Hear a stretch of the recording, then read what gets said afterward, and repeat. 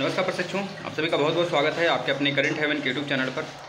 आप सभी को पता होगा कि डी के एग्ज़ाम में देरी देखने को मिल सकती है हमें, क्योंकि इसका कारण एक स्कूटनी का रिज़ल्ट भी है। और बच्चों का कहना है कि स्कूटनी का रिज़ल्ट कब तक आएगा तो मैं बता देता हूँ, कोई भी रिज़ल्ट हो, इनके अनुसार तीन महीने बाद ही आते हैं।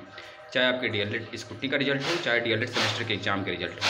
यानी कि तीन महीने, यानी कि जब से फॉर्म भरा जाना स्टार्ट हुआ था, तब से काउंट किया जाए तो उन्नीस नवंबर तक रिज़ल्ट आ जाना चाहिए। और रही बात एग्ज़ाम डी की एग्ज़ाम की। तो डी एग्ज़ाम आपके लोग जो कह रहे थे अक्टूबर में होगा ना तो वह तो सरासर झूठ था, एक तरह से अफवाह के रूप में फैलाया जा रहा था। मैंने आपसे पहले भी बोला था।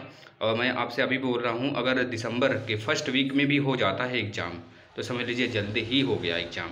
यह चीज़ें दिमाग में रख दीजिए। यानी कि आपके एग्ज़ाम में अभी वक्त तो मैं नहीं कहूँगा, वक्त तो कब बीत जाएगा पता नहीं चलेगा, लेकिन आपका लगभग डेढ़ दो महीने इतना मान के चलते हैं, लगभग। और लगभग एक महीने पर्याप्त होते हैं डी के सारे सब्जेक्ट को कवर करना प्लस तीस, पंद्रह दिन भी बहुत पर्याप्त है। यार दस, पंद्रह दिन अगर अच्छे तरीके से स्ट्रेटजी के साथ अच्छे से लग जाया जाए तो आपके लिए वह भी पर्याप्त है।